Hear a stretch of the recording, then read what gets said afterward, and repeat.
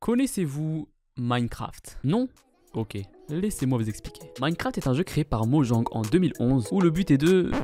Ok, ok, c'est bon, j'arrête. Minecraft. Un jeu qui dure depuis des années, malgré quelques périodes creuses. Ces derniers mois, la hype Minecraft a littéralement explosé et de plus en plus de joueurs reviennent y jouer ou pour certains s'y mettent pour la première fois. Instant pub. Mesdames et messieurs, je suis aussi en live régulièrement dessus, donc n'hésite pas à venir en description, c'est gratuit. Voilà, c'est bon tu peux remettre la musique. Minecraft. Connaissez-vous le mode hardcore? Bon, cette fois, je vais vraiment expliquer. Le mode hardcore est un dérivé du mode survie, qui est lui-même un mode où l'objectif est de survivre. Ouais, merci. Survivre en collectant des ressources, en construisant des structures, en combattant des monstres, en gérant sa faim, sa vie, bref, de la survie quoi. Dans ce mode, si vous mourrez d'une quelconque façon, votre personnage réapparaît et vous pourrez tranquillement continuer votre survie. Sauf que dans le mode hardcore, vous ne pouvez pas réapparaître. Oui, vous n'avez qu'une vie. Autant vous dire que pour jouer sur ce mode, à moins d'être suicidaire, eh bah, il faut avoir une certaine expérience pour ne pas mourir bêtement à la première nuit. C'est ce qui est arrivé à Phil Watson, connu sous le pseudo Philza, qui nous explique qu'en effet il est mort à la première nuit, tué par des monstres. C'est triste. Ok, mais on s'en fout, non? Ouais, exact. Mais attends de voir la suite. Ce gars est littéralement devenu une légende d'internet. Ouais, je te jure. Et ce, en quelques secondes. Voici son histoire.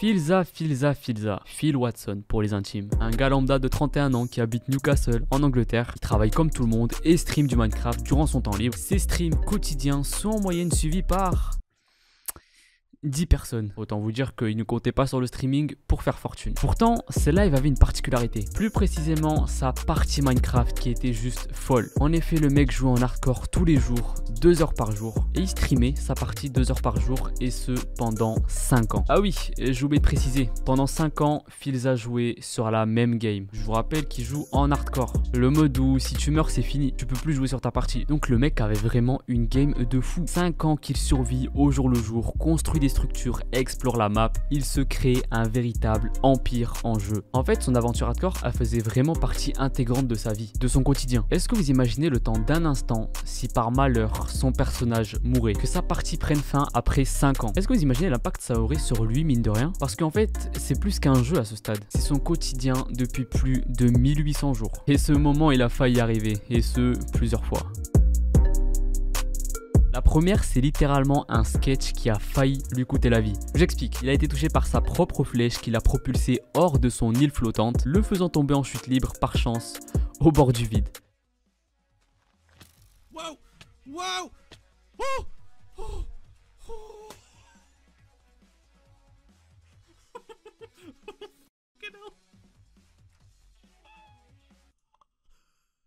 Par chance également car il lui restait deux cœurs. Et d'après lui, s'il était tombé seulement un bloc en dessous, il serait mort. Ouais, il a échappé belle. La deuxième, c'est le classique, le Nether. Je pense honnêtement qu'on est tous morts au moins une fois dans ce putain de Nether, attaqué par des cochons zombies. Et c'est bien ce qui a failli lui arriver. Il était perché sur une tour de un bloc de large avec une dizaine de cochons zombies qui l'attendaient en bas. Et grosse frayeur, un gast lui balance une boule de feu qui le fait tomber de sa cachette, pile sur les cochons zombies qui le propulsent encore une fois vers le bas où il a failli mourir de chute. Encore une fois.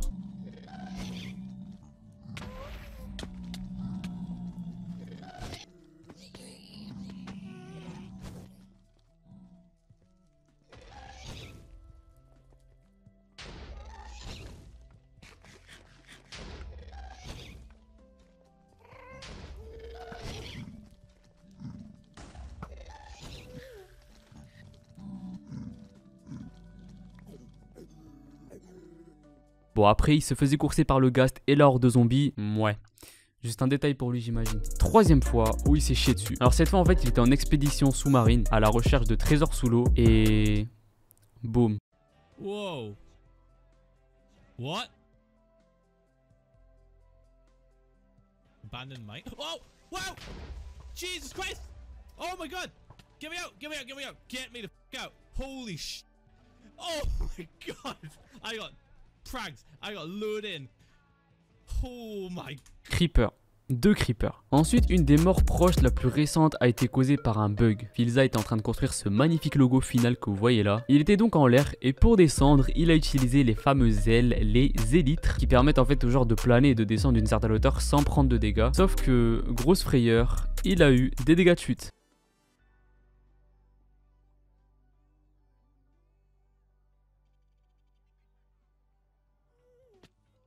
Wow, that fall damage. Holy. Oh,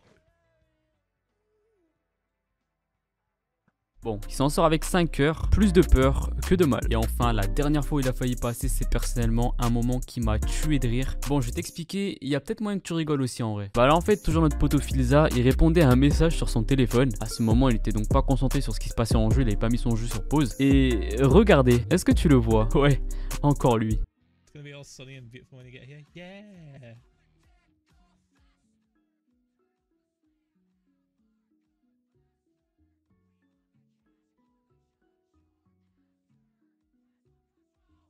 Whoop! Wow, never text, never text, and play Minecraft at the same time. May somebody clip that. That is literally the dumbest thing I've done in so long. That is the dumbest I have done in fucking ages. Pause the game. I've paused every time I've stopped the text. Whew, Kristen's gonna love that one because I was texting her. I didn't even back up in time. I like fumbled my controls. Ce qui m'a fumé, c'est que le creeper, tu sais, tu le vois arriver tout doucement, tout lentement, alors qu'il va potentiellement te niquer une game que t'as mis 5 ans à faire. Le truc, il arrive tout doucement en te regardant pour t'exploser à la gueule. Genre, y a pas plus pire comme humiliation. Et donc, Filza s'est bien fait caca dessus à ce moment et a failli perdre sa game à deux cœurs près. Et puis un jour, il s'est passé ça.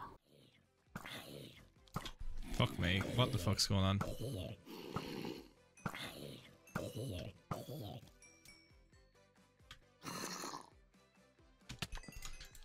Knew it.